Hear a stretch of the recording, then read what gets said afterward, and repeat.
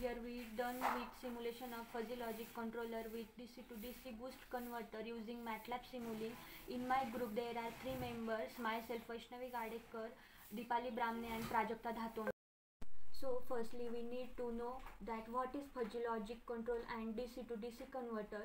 First fuzzy logic is an approach to computing based on degrees of truth rather than we usual true or false that is 1 or 0 boolean logic on which the modern computer is based. Second is the boost converter output voltage always higher than the input voltage. So let's start our simulation. So here we are in MATLAB. Now let's search the components which we want during this simulation. Firstly we will be requiring a powergui block. We will be then we will be requiring a voltage measurement block as well. So powergui block is basically used as a compiler. It helps the circuit to run during the compilation process. So once it is done we will be requiring a dc voltage source. So search for dc voltage source and add it. So after that we will be requiring a series rlc branch. So series uh, for rlc branch so once it is done we will be requiring a dc voltage source. So search for dc voltage source and add it. So after that we will be requiring a series rlc branch. So search for series rlc branch and add that block.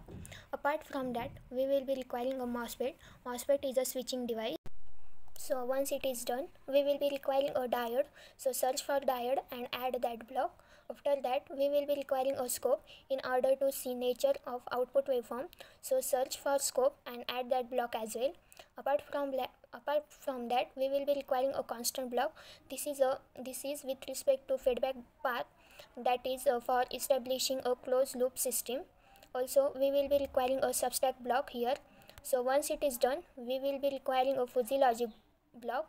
Search for fuzzy, fuzzy logic and add it apart from that we will be requiring a memory block. So add this block as well. Also we we are having a multiplexer. So search here mux and add it. Apart from that we will be requiring a relational block. And also we are requiring a repeating sequence block. Once all of these are done we will be placing these components in respective position. Now diode is to be connected over here and supply in this particular position. And a voltage at this point so with respect to circuit we will be requiring an inductor. The value of uh, inductor is 50 so i will be connected a inductor in this particular fashion. Apart from that rotate the MOSFET double click on it and uh, disable the measurements port. So we are not uh, requiring a measurement port. In case you want you can definitely use that double use that. Double click on this as well and disable the measurement port over here so once this is done I will be connecting it between these two points and I will be requiring a capacitive load filter. So copy paste and this and rotate this load uh, and select capacitor. The value of capacitor is chosen to be equal to 220 microfarad. Again we will requiring a resistor load. So I will be using a 20 ohm resistor and I will be connecting it between these two points a voltage source is connected between these two points in order to measure output voltage and I will be giving it to the scope. So open loop simulation of this uh, is complete.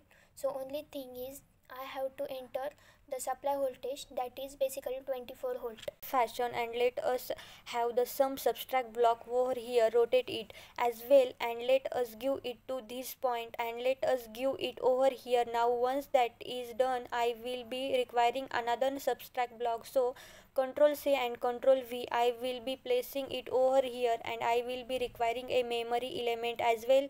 So whatever value is obtained so this is the error isn't it? So error will be given to this particular block and over here what I will be doing is the memory element is used to hold the previous value. So the error and change in error both of them are given as input. So the fuzzy logic controller so rotate this. So we have two inputs.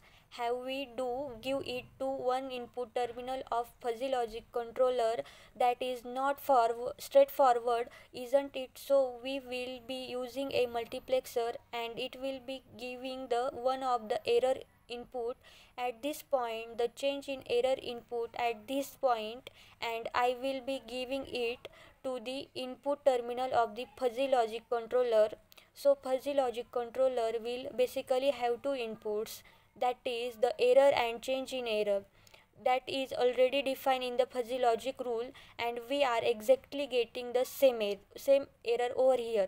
So once this is done double click on this over here. You have to be very careful. Whatever file name was given there.